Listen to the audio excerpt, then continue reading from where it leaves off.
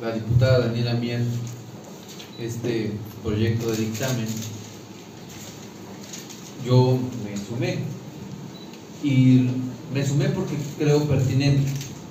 Me he reunido con diferentes presidentes de las juntas auxiliares de Puebla Capital y ciudadanos, ciudadanas, y hay una inquietud, solicitud, demanda, exigencia, en el sentido de que no se está ejerciendo el presupuesto que tiene el Ayuntamiento de Puebla de forma justa y equitativa.